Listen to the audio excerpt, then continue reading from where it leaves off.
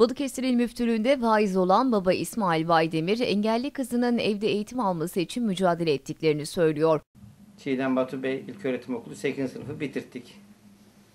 Ancak yeteri kadar okuldan destek alamadık. Sadece okul bitirmiş oldu. Biz istedik ki çocuk eğitimini lisede de devam etsin. En azından emsallerine yakın kendini kurtaracak bir bilgi ve kültür seviyesine ulaşsın. Ancak çocuğumuz sınıf ortamında mücadele edebilecek fiziki durumu müsait değil.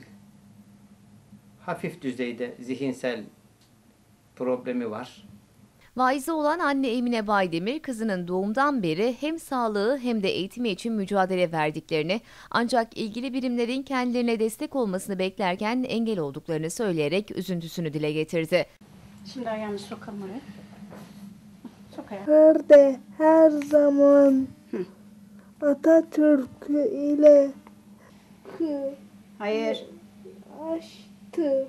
Aile son iki yıldır evde para karşılığı tuttukları özel öğretmenlerle aldırdıkları eğitimle kızlarının okuma isteğine cevap vermeye çalışıyor. Ancak yasal olarak böyle bir hakları varken kullanmak isteyen aile yetkililerden adını koyamadıkları sorunu halledip kendilerine yardımcı olmalarını talep ediyor. Şu anda çocuğum ne okul eğitimini alabiliyor ne de okul hayatına devam edebiliyor.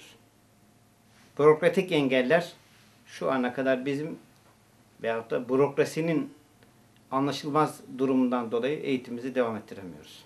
Engeline rağmen okuma azmiyle aldığı eğitimin hakkını veren Hüsna Baydemir, eğitiminin devam etmesini mutlaka okuyup liseyi bitirmek istediğini söyledi.